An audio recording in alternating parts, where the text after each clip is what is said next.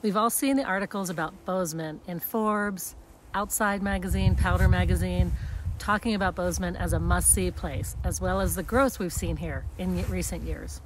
As a result, many, many people are relocating here from much milder winter climates. I have lived back east, in the Midwest, and throughout the West, so I thought I'd give you the lowdown on winters here in Bozeman and how they're different from other cold weather locations.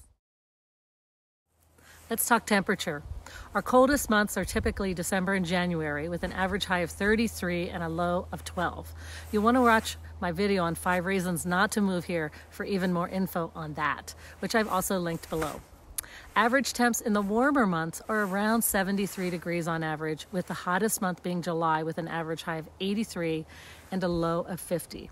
The cold season gives us an average daily high in the mid to high 30s overall and an average low of 14 degrees.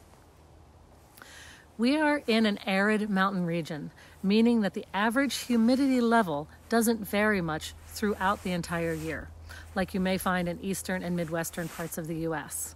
Our perceived humidity level hovers around zero pretty much year round. That's one of the reasons Bozeman and Gallatin County are such a popular place for outdoor winter activities. If you're coming from the East Coast or Midwest, you'll be pleasantly surprised by our lack of humidity. Snowfall. It varies widely depending on where you're located in our valley. There can be just a dusting on the west sides and up to several inches on the south side of town, just a couple minutes away and double or triple that in the Bridgers or other canyon areas outside of town. Now let's talk about some tips for enjoying the winters here. Number one, winters are a long haul. There's no getting around it. Snow often starts around October, sometime around Halloween. And at that time, the mindset shifts to winter activities, skating, skiing. People are buttoning up their gardens in September, and some of the smaller nurseries actually start their end of season sales after July 4th. I hate to break it to you. That was a shocker to me at first, but when you think about it, trees and shrubs need a good amount of time to get established before our ground freezes, so it really does make sense, and you'll get used to it. We can often plant our trees and some shrubs through mid October, but it really does depend on what the weather's doing during that particular year. It's really important to find winter activities that make you happy to wait out our long winters. If you don't like or cannot do winter sports, bundling up and walking on the sunny side of Main Street, meeting a friend for coffee each week can be just what the doctor ordered. There's also lots of local activities that don't require a lot of exertion, such as our winter farmers market, ice dog hockey games, skijoring events, and other fun activities that you can watch. If you don't have the ability to get away for a break during our winter or the early spring months, Taking a visit to one of the many, many hot springs we have across the state can often do the trick for you. Bozeman Hot Springs is just west of town. Chico Hot Springs is to the southwest, south of Livingston in Paradise Valley. And of course, there are many secret and not so secret wild spots around our area due to our unique geography. Taking a cross country ski or snowmobile day trip is also another great choice. Big Sky also has some fun sleigh rides during the holiday season. You'll want to invest in six pairs of boots. In the description below, I briefly share why six is the magic number and also take a look at my video where I break down the six boots plus one bonus. Our mudrooms and foyers are the workhorses in our homes. Every household get has lots and lots of gear year round when you live here in Montana.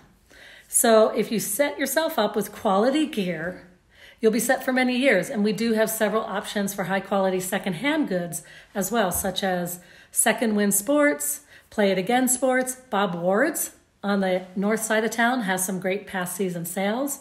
And don't forget our famous ski swap every year, where there are racks and racks of good quality winter clothes and accessories at really great price points. Number three, get ready to drive in winter weather. I like to say that an all wheel or four wheel drive is a necessity, and you also may want to keep a small shovel and blanket in your car in case you land in a ditch. Now, Montanans are happy to pull you out of that ditch without hesitation, but if you get into a bind, it's still a good idea to be prepared maybe even carry a tow strap.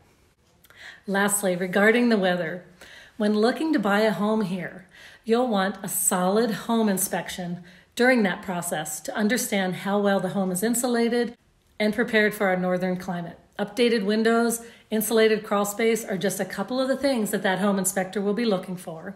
And I can also help you with utility costs, vendors, and ways to keep your property warm and dry. I have a solid understanding of home construction and often preview homes for people moving here that aren't in the area if they're not able to get here right away, but see a property they really like. I also work with several great home inspectors, contractors, and handymen, so I can give you referrals as well.